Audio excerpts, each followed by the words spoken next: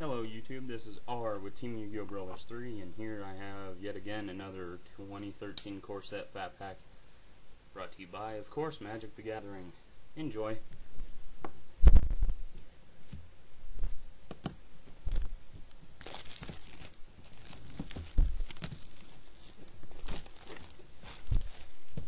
Haven't been able to get up to my card shop yet, so I will have a booster box opening here pretty soon. Trust me, I will. Contents of a fat pack, I'm sure, so I'm not going to go through that. It'll take up way too much time.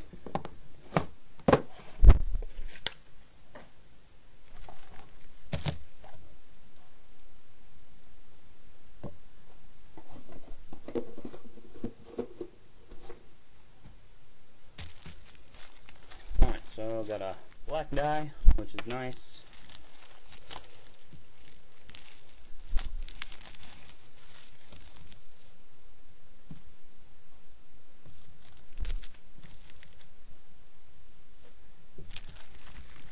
And here you have, like I've said in the past, I'm pretty sure it's an 80 count land, not for sure, haven't taken the time to count them all. I really don't care, it's land, I have plenty of it. Alright, let's get started. So far, I have been on a roll of great pulls lately, and I hope that doesn't stop. Alright, here again, Negate, Mind Rot, Pillar Field Ox, Centaur Courser, Blade Tusk Boar, Glorious Charge, War Clamp Mastiff, Duty Bound Dead, Goblin Arsonist, Battleflight Eagle, Garruk's Pack Leader, Public Execution, Prized Elephant, and Quarian Dryad. Nice pull. Second pack.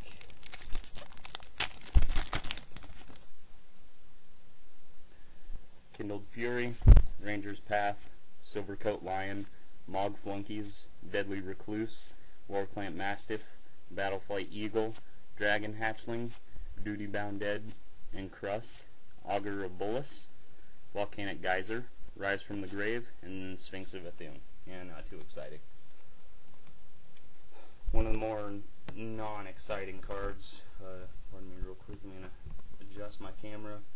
It's not really, yeah, it's just a webcam, so I'm working on towards getting a camcorder.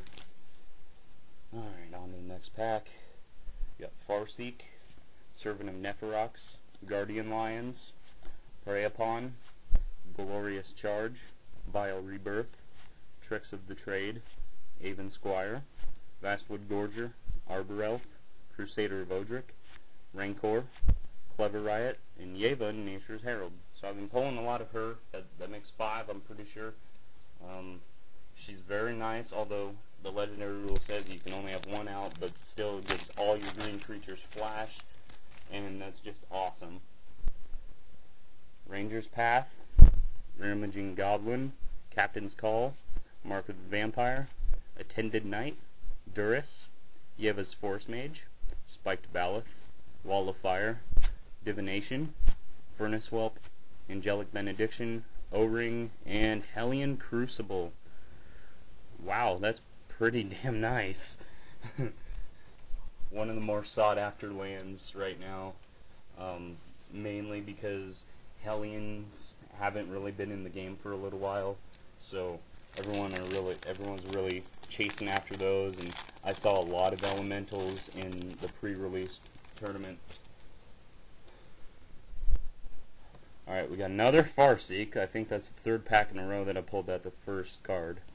Wild Guess, Disentomb, Centaur Courser, Merfolk the Pearl Trident, Timberpack Wolf, Crippling Blight, Goblin Battle Jester, Vile Rebirth, Tricks of the Trade, Duskmantle Prowler, Acidic Slime, Cleaver Riot, and Rootbound Crag.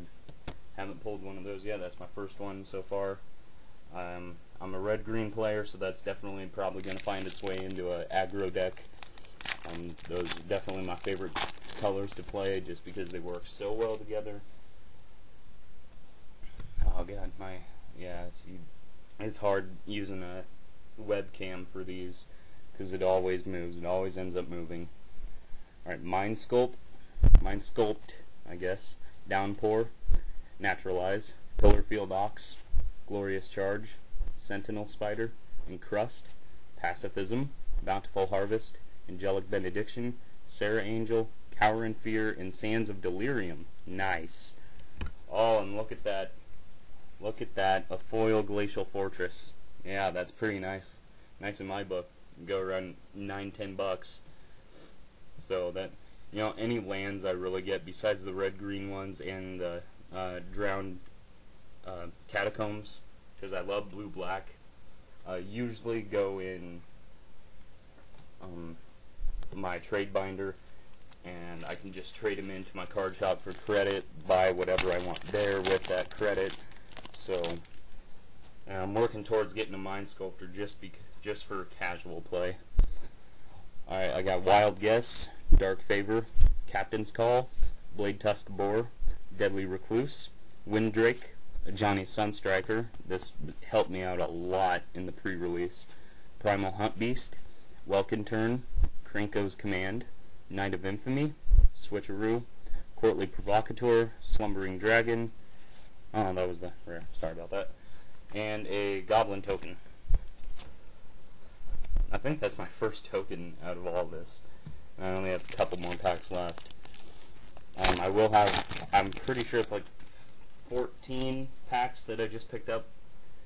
So that'll be next. Stay tuned. Um, Guardian Lions, Volcanic Strength, Downpour, Kraken Hatchling, Aven Squire, Windrake, Primal Hunt Beast, Attended Knight, Wall of Fire, Bloodthrone Vampire, Roaring Primadox, Blood Reckoning, Fungal Sprouting, and Void Stalker. Not really exciting. It, it's helpful, believe me. I've had it used against me. Took out, um, well, you know, it was used four times against me, so, you know, this, this guy got lucky and pulled four Void Stalkers, and, you know, he you know, that really gets rid of um, some beefcakes that you have out that's just destroying all of your opponent's shit, so. Alright, last pack. You got Blood Hunter Bat, Disentomb, Mind Sculpt, Downpour, Warclamp Mastiff, Sign in Blood, Walking Corpse, Battleflight Eagle, Dragon Hatchling, Duty Bound Dead, Veilborn Ghoul, Sleep, Fogbank, and Elvish Archdruid. That's nice. It's my second one so far, and um, yeah. Other than just running, other than running red green, um, my go-to colors are either weenie green or weenie white because those are the two monocolor decks that really go best. Alright, once again, this is R from Team Yu-Gi-Oh! Brawlers 3. Um, subscribe, like, comment, whatever you want to do. Uh, stay tuned for more Magic and Yu-Gi-Oh! if you're into that. Have a nice day.